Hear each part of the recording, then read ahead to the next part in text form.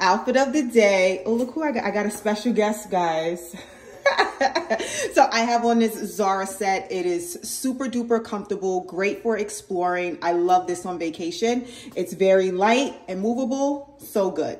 Um, I have on my Coach heart bag, crossbody, love.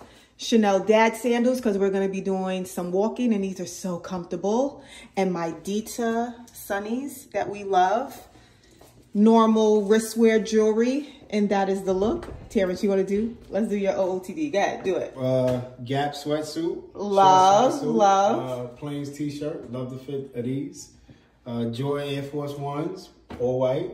Uh, got my little coach. you got the man, man purse. purse. You know, vacation only, and I'm ready to go. With and my wait, Dita studies, and Dita, go. Dita sunnies, yes, we love. And we ready to hit the streets. And that's the look, guys. See you guys soon.